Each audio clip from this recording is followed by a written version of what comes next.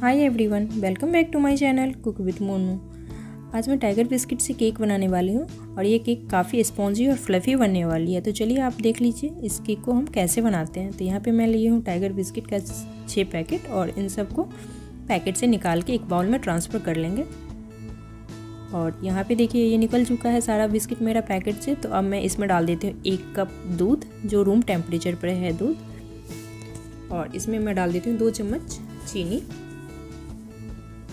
और अब हम इन सबको अच्छे से मिक्स कर देंगे।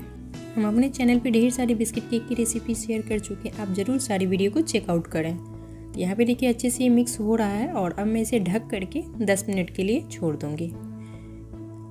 बिना ग्राइंड किए हुए ये देखिए कितने अच्छे से मेल्ट हो रहा है बिस्किट तो अब हम इसे थोड़ा सा ढक देते हैं और साइड में रख देंगे।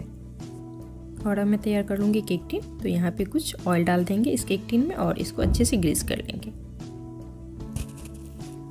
आप तेल की जगह जो है बटर का भी इस्तेमाल कर सकते हैं। तो यहाँ पे अच्छे से ग्रीस होने के बाद इसके ऊपर डाल देंगे हम बटर पेपर अगर आपके पास बटर पेपर नहीं है तो आप तेल लगाने के बाद या बटर लगाने के बाद एक चम्मच मैदे से केक टीन की डस्टिंग कर देंगे। और आज जो मैं केक बेक करने वाली हूँ, वो इस पैन में करने वाली हूँ तो इसको मैं ढक करके 10 मिनट के लिए प्री हीट करने के लिए रख दूँगी। और यहाँ पे ये प्री हीट हो रहा है तो हम एक बार चेक कर लेते हैं अपने बैटर को। तो यहाँ पे कितने अच्छे से ये मेल्ट हुआ है। तो अब हम इसको अच्छे से मिक्स कर लेंगे। और मिक्स करने के बाद मैं इसमें डाल देती हूँ एक छोटी चम्मच इनो।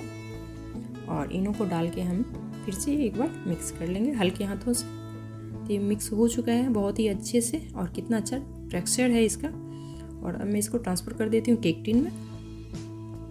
और ट्रांसफ़र करने के बाद थोड़ा सा हम टैप करेंगे। और टैप करने के बाद हम इसे बेक करने के लिए प्री हीट वाले पैन में रख देंगे। और रखने के बाद हम इसे ढक करके 30 से 35 मिनट के लिए बेक करेंगे। अब 30 मिनट में एक बार अपने केक को ज़रूर चेक करें, क्योंकि प्रॉब्लम होती है जो आपका फ्लेम गैस का कैसा है, और आप जिस बर्तन में बेक करें वो मोटा है या पतला है। तो यहाँ पे देखिए मेरा केक जो है 35 मिनट में बेक हुआ है, और अब हम इसको निकाल के इसे ढक देंगे और एक घंटे के लिए ठंडा होने देंगे। और बिना ठंडा किए केक को कभी भी डिमोल्ट ना करें। तो यहाँ पे मेरा केक ठंडा हो चुका है, और अब मैं इसे चाकू की सहायता से थोड़ा सा कॉर्नर से अलग कर देती हूँ, और इसको फ्लिप कर लेती हूँ। और ऊपर से थोड़ा सा टैप करने से ये देखिए कितनी ईजिली अलग हो गई और बटर पेपर भी मेरी रिमूव हो गई और कितना चॉकलेट का जो है ना, वो आया है। देखिए डॉट डॉट बहुत ही स्पॉन्जी और फ्लफ़ी भी बनी है। हम इसे कट करके भी आपको दिखा रहे हैं।